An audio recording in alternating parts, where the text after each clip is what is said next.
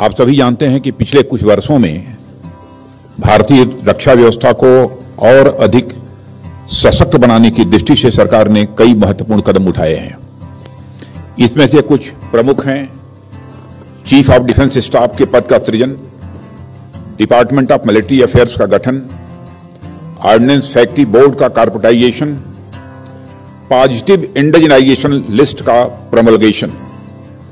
इसी प्रकार domestic procurement के लिए 68 परसेंट कैपिटल प्रोक्योरमेंट बजट का आवंटन और एफडीआई कैप का 74 परसेंट तक बढ़ाना।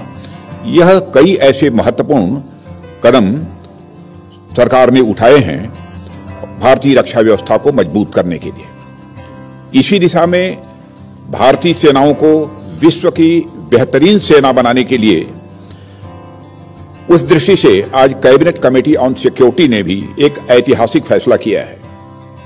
आज का अग्निपथ नामक एक ट्रांसफॉर्मेटिव योजना हम ला रहे हैं, जो हमारी आर्म फोर्सेस में ट्रांसफॉर्मेटिव चेंजेज लाकर उन्हें फुल्ली मॉडर्न और वेल इक्विप्ड बनाएगी।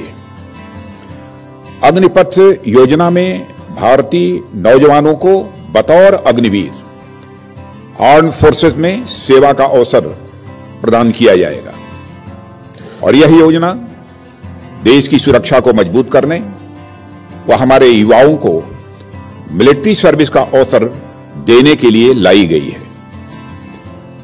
आप सब मेरी इस बात से ज़रूर सहमत होंगे कि संपूर्ण राष्ट्र, खासतौर पर हमारे नौजवान आर्म फोर्सेस को सम्मान के नज़रिए से देखते हैं। अपने जीवन काल में कभी न कभी प्रत्येक बच्चा सेना की वर्दी धारण करने की वह तमन्ना रखता है। अग्निपथ योजना के अंतर्गत यह प्रयास किया जा रहा है कि इंडियन आर्म फोर्सेस का प्रोफ़ाइल पूरी तरह से यूथफुल हो। यूथफुल प्रोफ़ाइल से यह फ़ायदा भी होगा कि उन्हें नई नई टेक्नोलॉजी के लिए आसानी से ट्रेन किया जा सकेगा और उनकी हेल्थ और फिटनेस का लेवल भी काफ़ी बेहतर होगा। साथियों, इस अग्निपथ योजना से एम्प्लॉयमेंट अपॉर्चुनिटीज़ बढ़ेंगी और अग्निवीर सेवा के दौरान अर्जित स्किल्स एवं एक्सपीरियंस उन्हें विभिन्न क्षेत्रों में एम्प्लॉयमेंट भी प्राप्त कराएगा और इससे भारतीय अर्थव्यवस्था को भी हायर स्किल्ड वर्कफोर्स की उपलब्धता होगी। जो प्रोडक्टिविटी गेन और ओवरऑल जीडीपी ग्रोथ में सहायक होगी।